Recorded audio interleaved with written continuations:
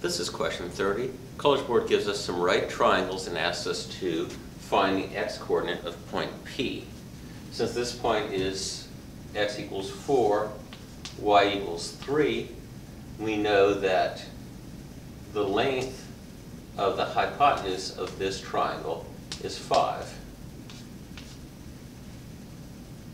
We also know that this angle here is in both the smaller triangle I've just drawn, and let's call this Q and this point R.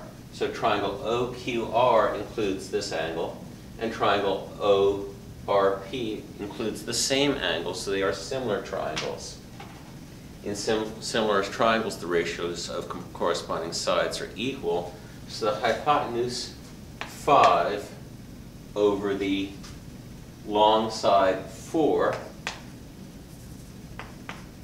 equals the hypotenuse of ORP, which, since R is the right angle, the hypotenuse is the x-coordinate of point P, over the long side, which is the side adjacent to this angle, which is 5.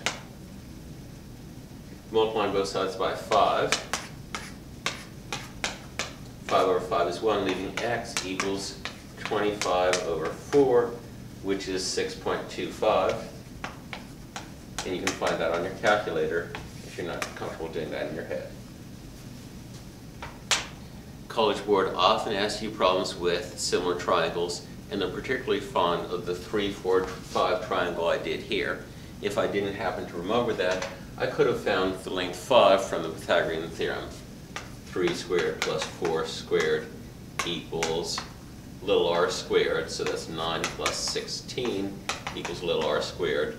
25 equals little r squared, square root in both sides, little r equals 5, which is the length of the hypotenuse. And once you calculate that, you're likely to say, oh, I knew that, because that's a 3, 4, 5 right triangle.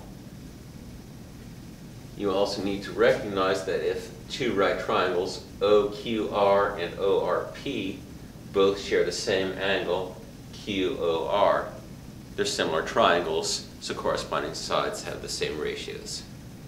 Come back soon for my next video. With math, there's always more.